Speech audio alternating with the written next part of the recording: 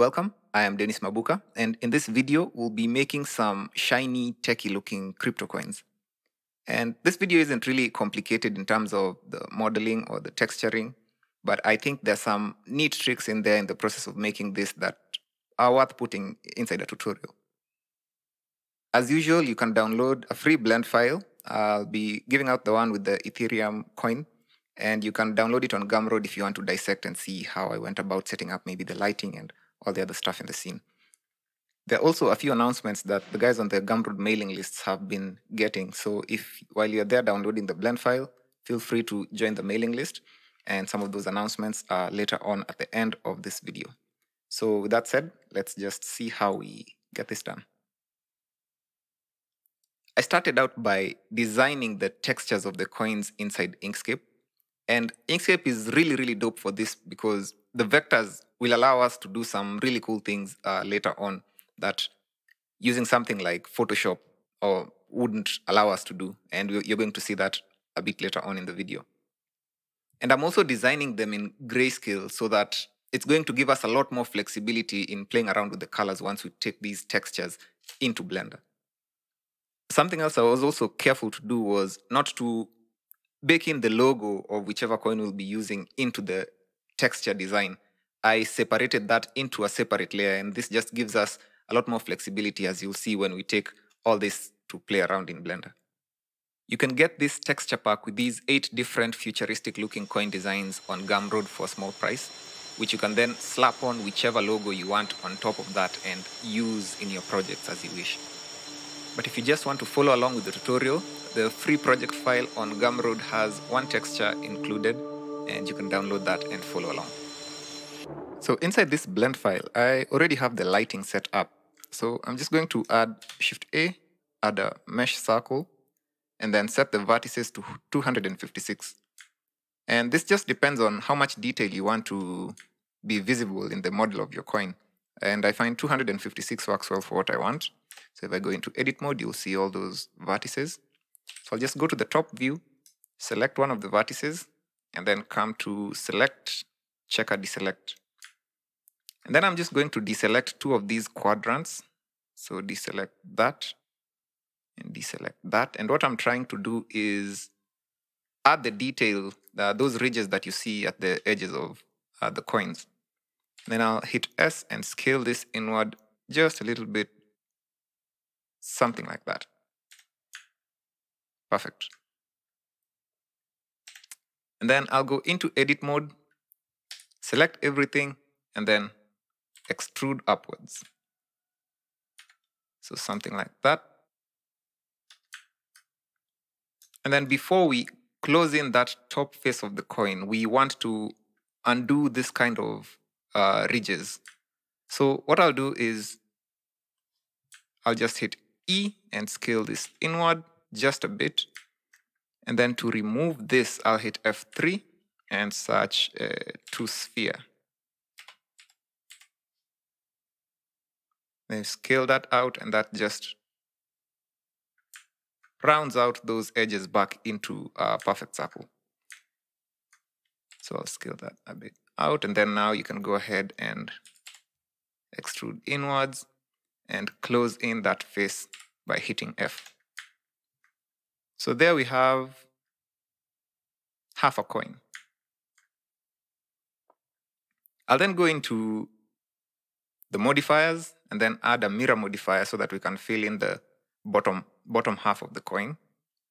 So I'll hit mirror and then mirror it in the Z axis. And we have that. This is kind of thick, so I'll go into edit mode again and then select those top vertices then just bring this down until I have a thickness that I'm happy with. Something like that is perfect. Then something else I'll do is I'll add a bevel modifier to just add um, the so that the edges of the coin can catch the light. Bevel, and then scale this something very, very subtle like that.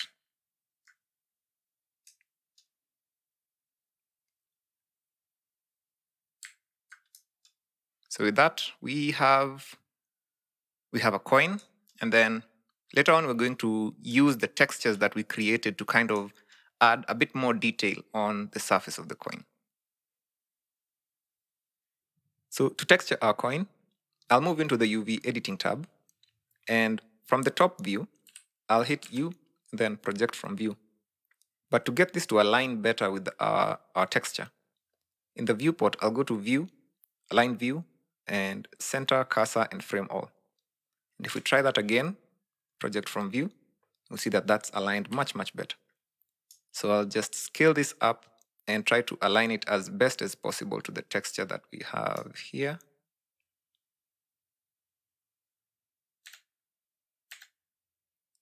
So now that we have that unwrapped, I will come into the shading tab and then select our coin and add a new material. Then I'll call that uh, coin. And I have the Node Wrangler add-on enabled, so I'll just select the principled shader and hit Control T, and that just saves us a lot of time by add, automatically adding uh, these nodes.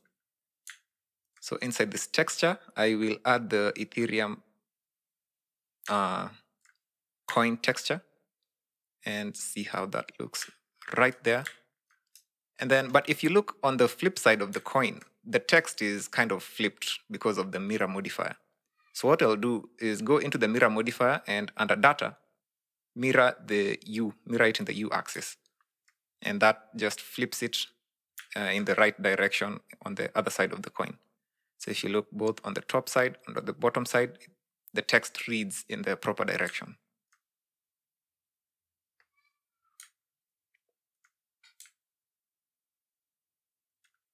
The next thing I'll do is add the logo of the Ethereum logo on top of the coin.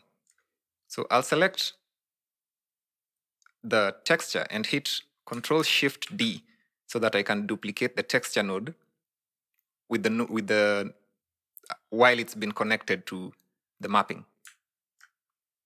And then inside this second texture, I will add the Ethereum logo, which looks like that. And the black part uh, shows that the texture has an alpha an alpha channel, a transparent channel. So I'll mix these two by adding a color node, a mix RGB, plug that one there, plug that one there, see how that looks. And then I'm going to use the alpha from the texture of the logo and plug that into the factor. That just makes the logo more visible. That looks much better.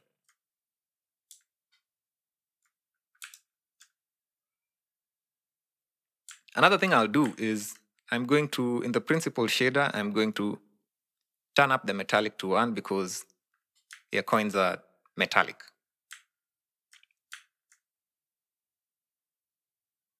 And then here's where we can start playing around with uh, the textures. But before that, what I'll do is I'll add a texture, a noise texture, to just add some variation in the roughness of the metallic coin. So I'll go into the texture, and add a noise texture, hit Control T, and then plug that into the roughness. And you'll see how that looks. There's now some variation in the shininess of the coin. And to see this better, I'm going to enable the layer of the lights and go into the rendered view and see what that looks like. And to fix this kind of weird looking uh, stripes at the edge of the coin, I will plug uh, in the texture coordinates, I'll use the object instead of the generated. And that fixes that. I'll then add some detail here by turning up the detail in the noise texture and also turning up the roughness in the noise texture. And that just adds a lot more detail on the coin. And now this is where we start getting to uh, the fun part. I'm going to start adding some color ramps all over the place. So I'll add a converter, color ramp. I'll plug a color ramp right after the texture of the coin. I'll plug another one in the texture of the logo. And then I'll plug another one after combining these two. So that's what that looks like. That's what that looks like. And after combining these two, I'm going to add a third color ramp. And you're going to see how handy this comes in.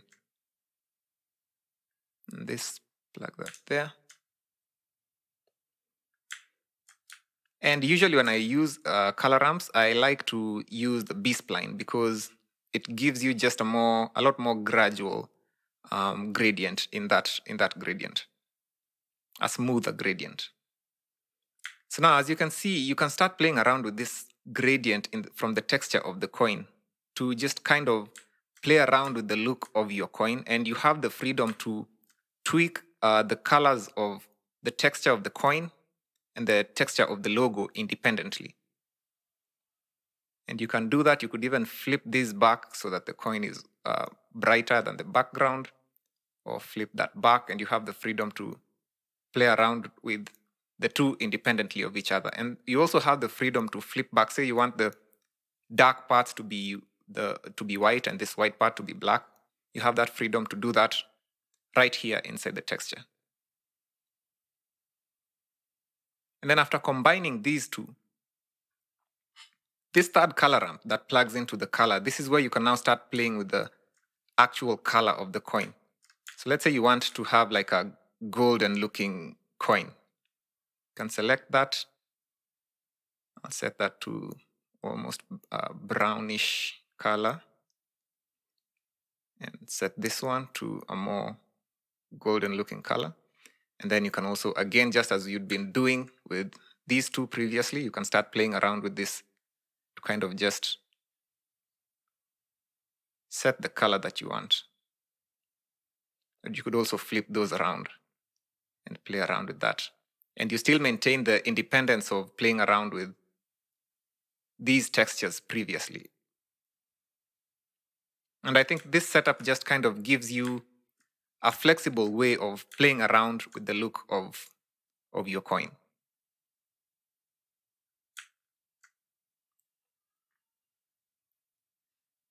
And then the last thing I'm going to do to just finish the texturing part in fact, actually, before I do that, now that we have this texture in place, we can use the texture that we now have to kind of add a bit more detail to the physical model of the coin. I say physical, but yeah, to the actual model of the coin.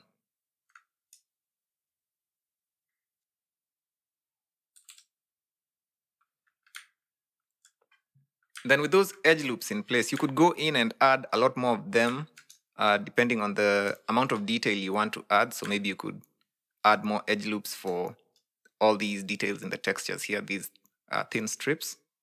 But for the purposes of the tutorial, I think this is enough just to demonstrate. I'm now just going to select this face loop this loop of faces and this loop of faces, and that central face. And then I'll just hit Control E and then extrude them along normals so that I can just insert those faces a bit. That just adds a bit more detail to the model and then the edges can catch that light and just make the model pop a lot more. And you can go ahead and just do that for, depending on the texture that you're using, add some more detail to the actual model of the coin. And then the last thing we'll do in the shading tab is just use now the texture to simulate uh, detail, to simulate bumps, to simulate geometry, um, that difference in height in the geometry of the coin. So I'll take these textures that we've created. So from the combined texture of the coin and the logo, I'll take the output from here I'll add a node vector bump node and then just take this and plug this into the height and then plug this into the normal of the principal shader And you can see we have that. So I'll just zoom in here and invert that height. And then I'll come here and reduce that strength so that it's not so exaggerated and ugly looking. You just want something, something like that.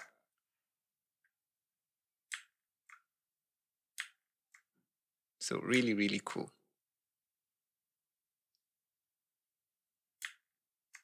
I'm also going to add a color ramp on the noise texture that feeds into the roughness so that we can also play around with this and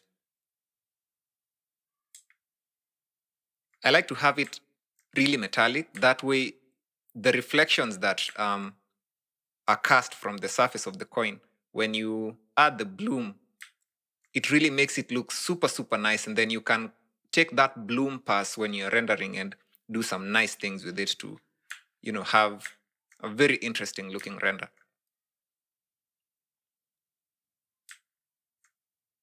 And then one more thing that you can do also, you can add, let's say, uh, the same way we've used the bump from this output into here, you can also, depending on how old you want the coin to look, the roughness that we've added into the reflections, you can also use that detail and plug that to have, to simulate uh, uh, roughness on the surface of the geometry. So Let's just go ahead and do that. I'll duplicate this bump node and then take this output into the height, and then take this normal and plug this right there. So you can see how that, depending on how old or how rough you want that your coin to look. So I'm going to dial this down so that it's not so pronounced, but I also want it to just be visible there, something like that. Uh, maybe that's too much. Dial it down some more. Something like that, so that it's very, very subtle, but just makes the surface look a lot. You can almost imagine how it feels when you touch it. So this video is getting a bit longer than I would like.